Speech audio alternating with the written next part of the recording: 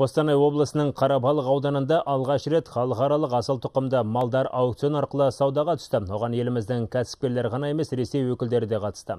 Етті ірі қаралардың әрқайсысы 300 мың теңгеден басталып, 600 мың теңгеге дейін көтерілді. Тобыл өңірінде өткен мал базарының бәс саудасы жайлы тілшіміз Мағауия Қалиев әңгімелесін.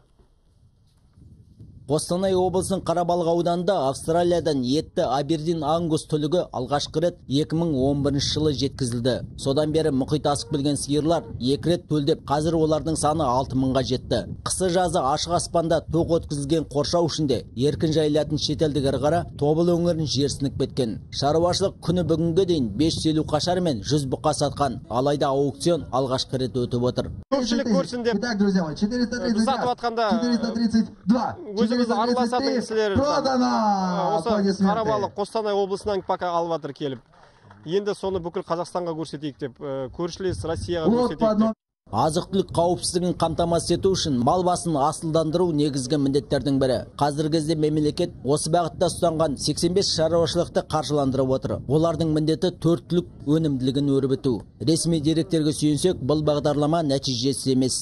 Қазіргі уақытта ә, асыл тұқымды ірі қара малдың үлесі ә, 12 пайызға жетті бұл жобаның бас, ба- бастамасында ә, 3-4 пайыздан аспайды Бүгінгі аукционға еліміздің бірнеше өңірі мен Ресейдің көршілес Челябі облысынан келген сатып алушылар қатысты. Бәс саудада 12-14 айлық тайыншалардың бағасы 500 мыңға дейін жетті. Окончательная цена 410 раз. 410 2. 410 тысяч продано. Асыл тұқымды түлік сатып алғандарға мемлекеттен 154 мың теңге субсидия төленеді. Мұның сыртында шаруаларды бұл түліктің жоғары өнімділігі де қызықтырады. екі жыл үйде ұстаған бұзауды тапсырамыз Номером 38. Стоимость вот 100 мыңға 60 тысяч первоначально. мында бір жеті сегіз айлық бұзауды тапсырамыз бір жылға жасын жеткізбей тапсырып сол жүз мыңды қайдырап аламыз тағы Айбердин Ангус бұзауларының салмағы 7-8 айда 400-450 келіге дейін жетеді. Ең ірі бұқалары 1 тоннаға дейін салмақ басады. Бүгінгі бәс саудада 200-ден астам өнімділігі жоғары асыл тұқымды бұқа өз иесін тапты. Мағауия Қалиев, Ермек Мұхамедяров, Қостанай облысы, 24 кезет.